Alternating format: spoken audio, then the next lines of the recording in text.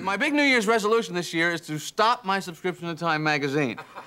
I, uh, I don't even know how I got into this thing. They, I don't know. I was watching the commercial. Maybe I winked or something at it, and they go, "He reacted. Start sending it to him. I'm sorry." And uh, I don't know. Do you have to move, start a new life under a different name? How do you? Because I can't read it.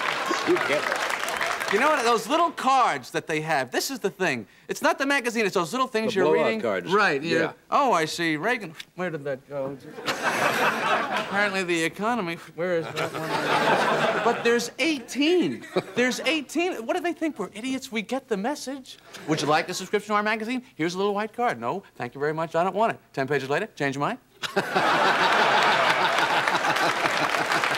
No, get away from me.